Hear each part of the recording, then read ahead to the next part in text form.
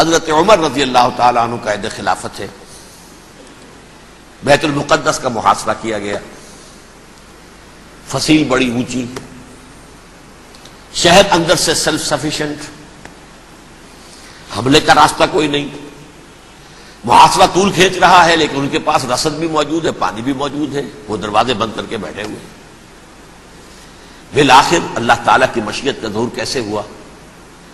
उनके कुछ ओलमा आए फसील पर।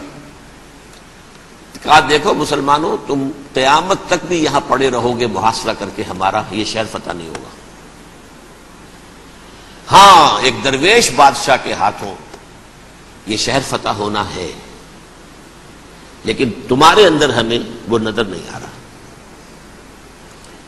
अबू उबैदत अब्दुल जर्राह रज़ी अल्लाह तमीन हाजिल उम्मा उनका फ़ौरन जहन गया, वो दरवेश बादशाह मदीने में बैठा हुआ है उबर रज़ी अल्लाह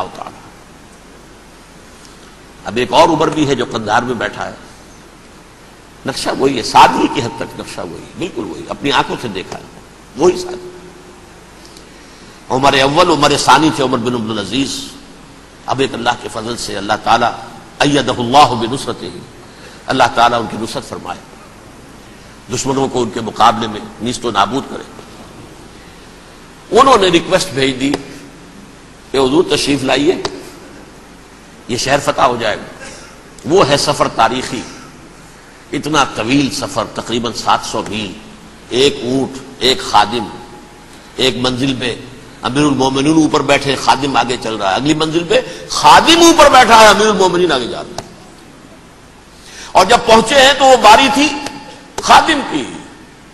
उन्हें हाथ जोड़ दिया उदू खुदा के लिए, तुम क्या कहेंगे लोग? वो मेरा बुरा हाल कर देंगे, तुम्हें शर्म नहीं आई? अमीरुल मोमिन पैदल आगे चल रहे नुकेल पकड़कर, और तुम बैठे हो ऊपर, बराजमान हो। हज़रत उमर फरमान दौड़ो दौड़ो, नहीं, बारी तुम्हारी है। बैठ। इस हाल में पहुँचे हैं।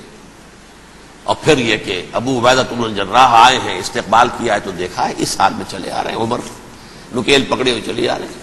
और कहते हैं कि कहीं कीचड़ वीचड़ था, जूते खराब हो गए थे, वो भी उतार के हाथ में पकड़े हुए। कपड़े तो थे ही फटे हुए। उन्होंने कहा थी हज़रत अबू बैदा ने, देखिए, ये बड़ा मुतमदिन मुल्क है, बड़ा महजब इलाका है ये। आप जरा हुलिया अपना दोस्त फरमा ले, तब जाके पेश हम आपको करेंगे। आपने फरमाया, नहन कौम इस्लाम।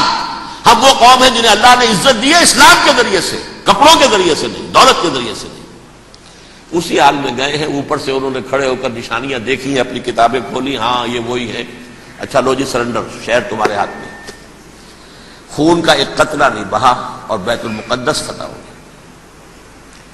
लेकिन उस वक्त हज़रत उमर ने एक नरमी ये की कि यहूदियों के लिए भी इसे ओपन सिटी करार दे दिया। ये एहसान अजीम हज़रत उमर का इससे पहले यहूदी आ ही नहीं सकता था, दाखिल नहीं हो सकता था। वहाँ वो आकर विज़िट नहीं कर सकता था, जियारत नहीं कर सकता था अपने मुकदस मकाम की। हज़रत उमर ने यूँ समझिए कि तकरीबन साढ़े पाँच सौ बरस के बाद उनके लिए रास्ता खोला है कि हाँ, तुम आ सकते हो, जियारत कर सकते हो। लेकिन ये ईसाइयों ने लिखवाया मुआहदे के अंदर। उन्हें यहाँ आप आबाद होने की इजाज़त नहीं देंगे। लेकिन कम, विज़िट दी प्लेसेस, देखें। जियारतें करें और जाए। ये माहा हज़रत उमर का है रज़ी अल्लाह तला। जो फिर खिलाफत रास्ता के बाद बनु उमैया ने भी इसको ऑर्डर किया, बनु अब्बास ने किया। फिर जो हमारे ये तुर्कों में अंदर खिलाफत आई तो तुर्क खुलफा ने भी उस माहदे की पूरी पाबंदी की।